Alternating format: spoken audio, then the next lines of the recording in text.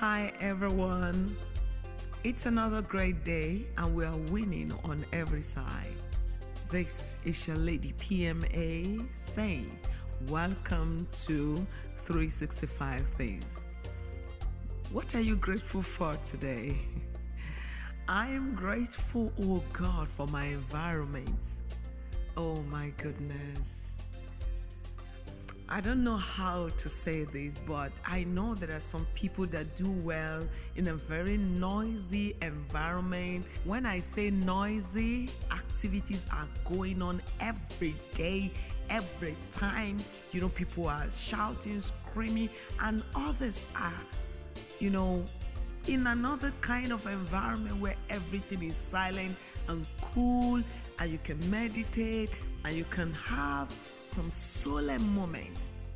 What kind of environment do you find yourself? Is it supportive of your goal, supportive of your health, supportive of your personality? Yes, you should be grateful for that. I am grateful for my environment. Look around you. What do you see? People, trees, stream, fresh air? What do you feel? Take a moment to raise your hand and say, Oh God, I'm grateful for putting me in this community, for putting me in this environment, for putting me in the midst of these trees, for putting me here now.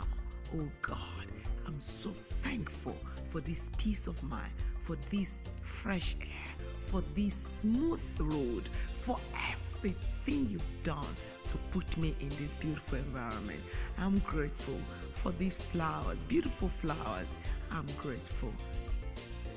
So raise your hand and join me in being grateful for your environment.